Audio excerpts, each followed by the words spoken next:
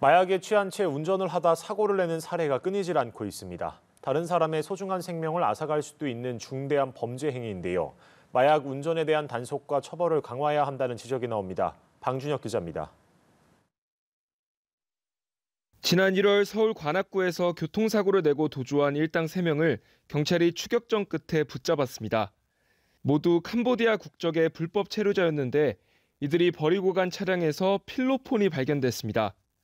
마약에 취한 채 운전을 하다 뺑소니 사고를 낸 겁니다.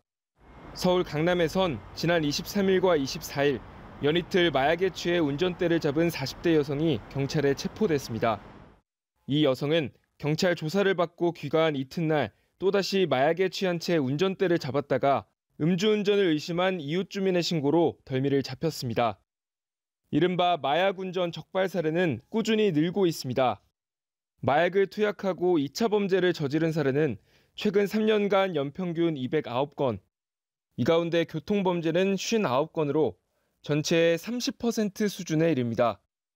문제는 현장에서 마약 투약 여부를 즉각 확인하기 힘들다는 겁니다.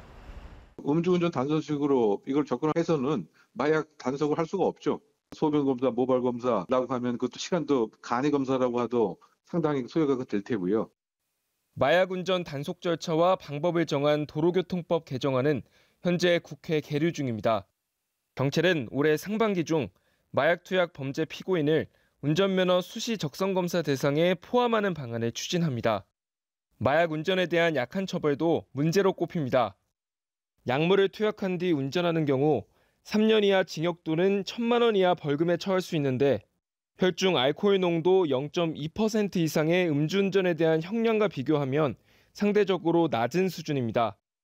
마약 운전에 대한 현실적인 단속 방법과 함께 처벌 기준을 구체화해야 한다는 지적이 나오고 있습니다. 연합뉴스 TV 방준혁입니다.